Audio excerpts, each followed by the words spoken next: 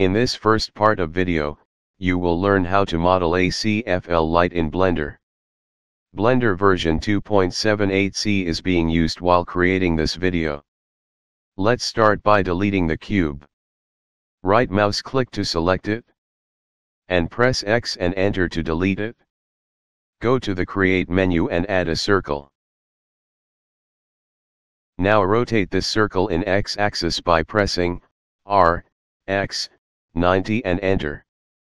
Now press 1 for the front view and 5 for the orthographic view. Now scale this circle down by pressing S 0.2 and enter. Zoom it a bit with mouse wheel up and pan the view little bit down with shift plus middle mouse button. Now press tab to enter to the edit mode, and press A key to deselect vertices. Now press B key for the box selection tool, and draw a box including top half vertices of circle to select them, and move them almost two big grid lines up by pulling the blue arrow. Now press tab to return to the object mode. Now press Alt plus C keys on the keyboard and select curve from mesh slash text. Now under the curve section in the create menu, add a Bezier circle.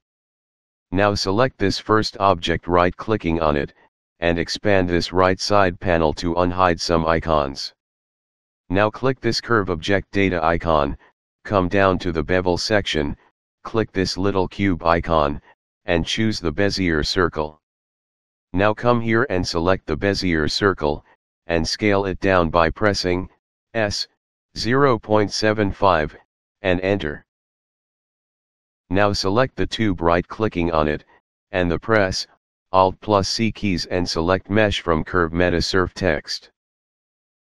Now you can select this Bezier circle and delete it by pressing X, and enter. Now press 3 key on the number pad for the right side view, select the tube by right clicking on it, press, Shift plus D keys on the keyboard to duplicate tube and right mouse click to release. Now pull this green arrow to move the duplicate tube about there, Select also the first tube while pressing Shift key on the keyboard, and press, Ctrl plus J keys to join them. Now go to the Tools menu, click on this Set Origin drop-down, and select Origin to Geometry from the list.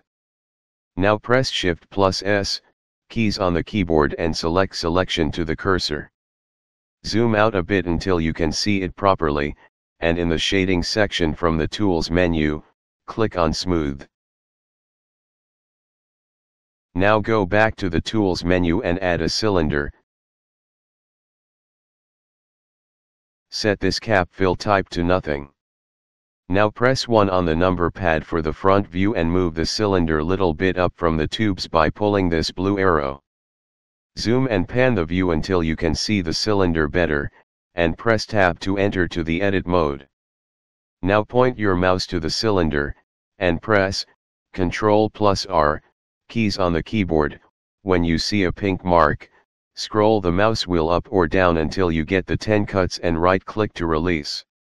You can also manage the numbers of cuts from here.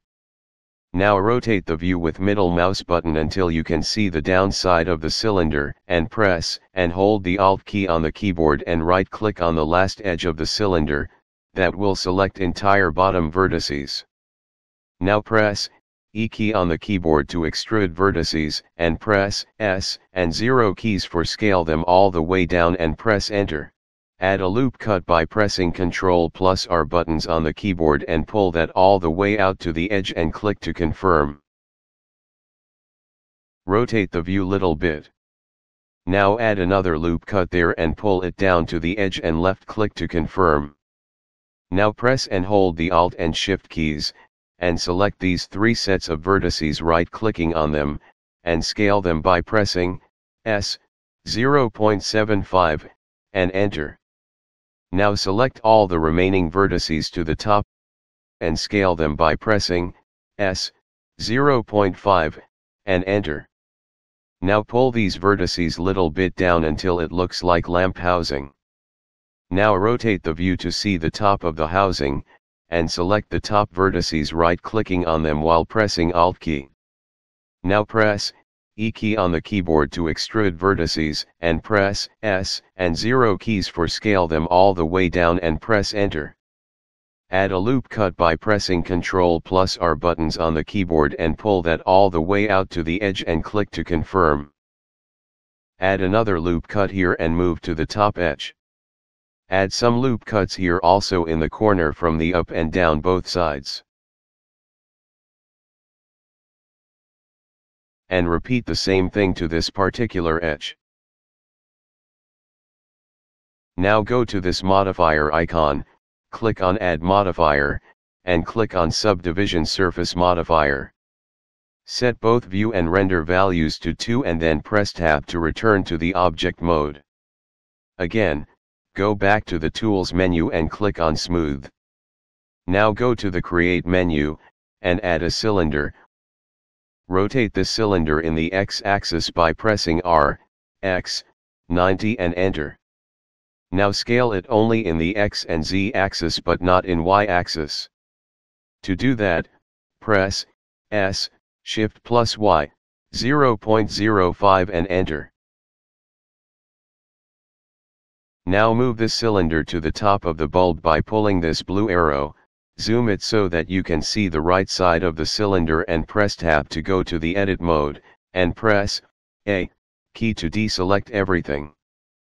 Now right click to this edge of the cylinder while pressing Alt key to select all the edge. Now press, E key on the keyboard to extrude vertices, and press S and 0 keys for scale them all the way down and press enter. Add a loop cut by pressing Ctrl plus R buttons on the keyboard and pull that all the way out to the edge and click to confirm. Add another loop cut on the body and pull it all the way to the left and left click to confirm. Now rotate the view until you can see the right side of the cylinder properly. Now right click to this edge of the cylinder while pressing Alt key to select all the edge. Now press E key on the keyboard to extrude vertices, and press S and 0 keys for scale them all the way down and press enter. Add a loop cut by pressing Ctrl plus R buttons on the keyboard and pull that all the way out to the edge and click to confirm. Add another loop cut on the body and pull it all the way to the right and click to confirm.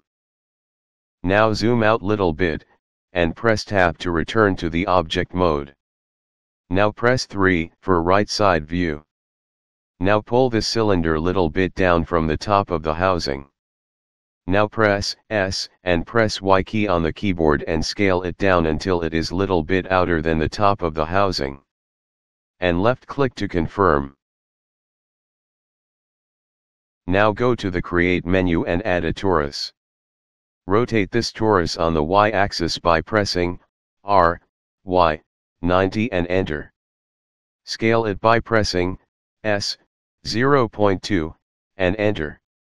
Now move this torus to the top of the housing and adjust it to the side by using blue and red arrows. Now press Ctrl plus A keys on the keyboard and click on location. Again press Ctrl plus A keys on the keyboard and click on rotation and for the last time again press Ctrl plus A, keys on the keyboard and click on Scale.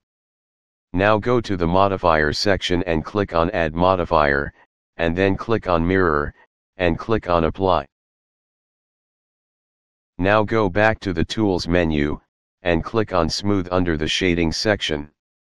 Now press 1 on the number pad for the front view. And zoom or pan the view to see everything. Now select those tubes by right-clicking on them, and move them upwards until the top part of the tubes goes inside the housing. And this was the part 1 of the quick tutorial about how to create a CFL lamp in Blender. Thanks for watching. Please subscribe and leave a comment.